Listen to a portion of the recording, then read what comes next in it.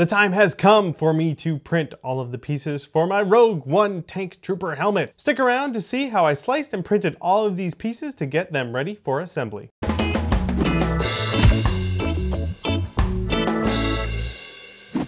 Hey there, fellow maker! Welcome down to the shop. I'm Bill. This is Prop 3D, and we are continuing our journey using a cheap 3D printer to print a custom cosplay helmet. As a reminder, this series is dedicated to making a super cool prop using a really cheap 3D printer, the ANET A8. So far, I bought the printer, my wife and I assembled it, I did some safety upgrades, I did some quality upgrades, and now today, finally, we get to put together and print all of our pieces for this cool Rogue One Tank Trooper helmet. That helmet is a stylized version of the Tank Trooper. A while back, the incredible artist Aaron Farmer posted a super cool customized version of the Tank Trooper on his Instagram account. I fell in love with it. I contacted him and asked if he could flesh out the entire character and he totally did. So that's the one that I'm making. I took his design and I modeled it up in Fusion 360. Autodesk has a really great tutorial on modeling helmets. I recommend you go watch that entire series so that you can follow along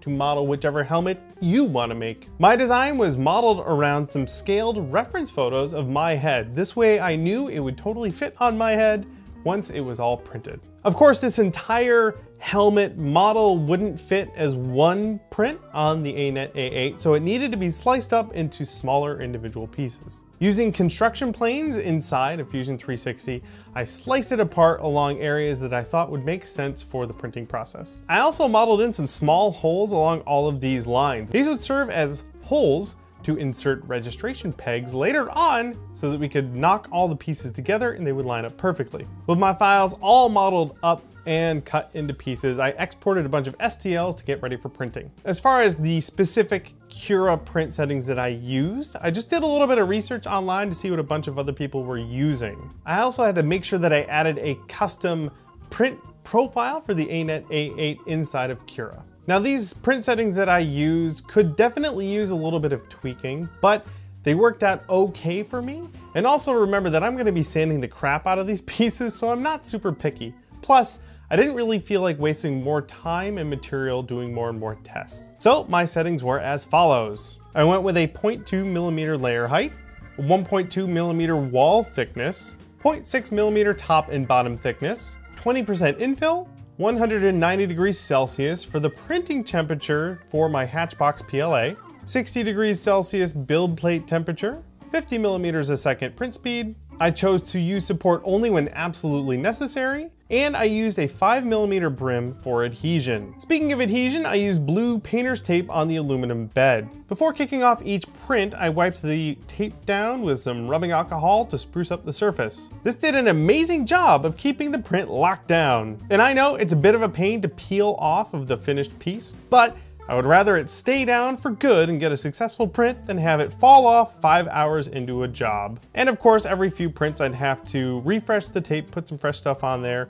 because when you pull it off, it would rip the tape a bit. Now in Cura, I would rotate my parts until they were lying flat along one of the edges that I had cut in Fusion 360 because I knew they were perfectly flat. I also tried to rotate and position them in a way that would either use no support or as little support material as possible. The G-code got put onto the little memory card and I could run off to the A8 and start printing. The first thing I did was level the print bed and I did that before every single print. Then I would auto home the extruder and kick off my prints one by one. I made sure to babysit the first layer to make sure it went down nicely. If the bed wasn't high enough or level, I could tell that it was going to fail right away. So I would stop the print, re-level everything, and start over. I found that so long as that first layer went down nice and strong, the prints would finish with very few problems. In fact, in the 16 pieces that I printed, I didn't have a single outright failure. The only major issue was one time when I saw the first layer overlapping itself. It turns out that a small shard of filament had fallen into the gear and the Y-axis motor, causing it to skip a few millimeters. Something else I did was to increase the flow to 150% during that first layer. This was probably overkill, but it ensured that a lot of plastic went down on that first layer to get it to really stick to the tape. Of course, once the machine moved up to the second layer, I would change that flow back to 100%.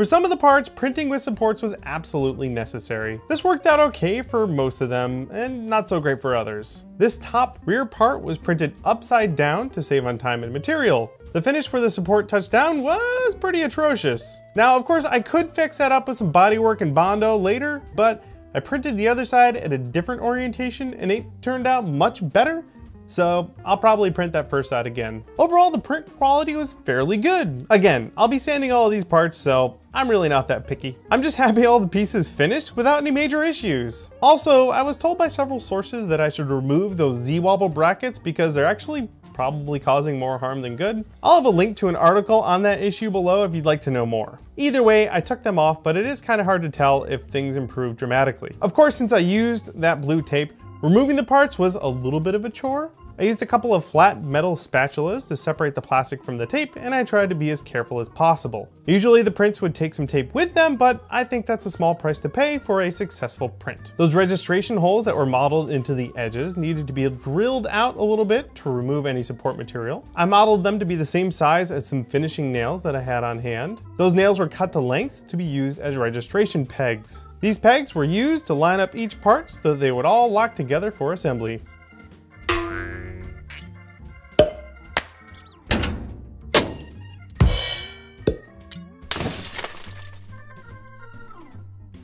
All 16 of these pieces took a total of about 94 hours of printing. And I went through almost two full one kilogram spools of that PLA filament. I've been running this machine every single day for the last couple of weeks to get all these pieces done. And so far I've been impressed mostly that the machine hasn't given up on me. And I'll tell you what, I am super stoked to get this all put together and finished up. Of course, I have a ton of sanding in my future, but that's okay. I'm still really excited to see how it's gonna look. And of course, that will all be covered in the next video. Hey, thanks so much for checking out this series. I hope you're learning a little bit. And of course, if you have any questions or tips or insight to share, post it down in the comments. And as always, all the tools and materials that I use will be linked down in the description. I really hope you're having fun following along with this budget 3D printer build. And of course, if you're working on any cool 3D printed prop projects, please share them with me over on Twitter. I'm at Chinbeard. And if you're new to the channel, go ahead and smash that subscribe button. We'll be finishing this series up in the next few weeks. Plus, we have new prop and costume making tutorial videos coming out every single week. All right,